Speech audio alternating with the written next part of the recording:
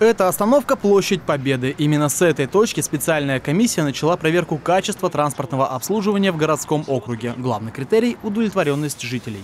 Так, регулярность, в принципе, хорошая здесь. Эксперты оценили актуальность расписания и регулярность рейсов на 14 маршруте. Вереница автобусов друг за другом подходит к остановке и все согласно графика. Специалисты отдела транспорта и связи администрации проверяют работу транспорта регулярно и говорят, теперь нареканий от жителей нет.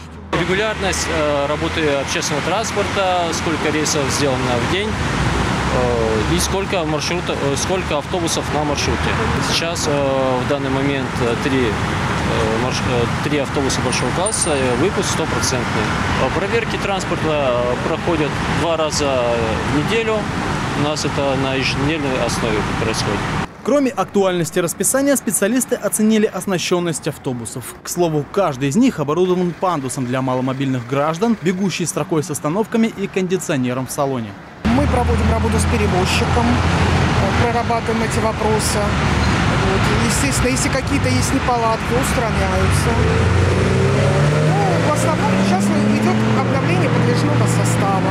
Обновление парка идет постепенно. Первые на очереди самые популярные направления. Так, меньше месяца назад на 19К маршруте от станции Химки до ТЦ Мега вели сразу 5 новых автобусов.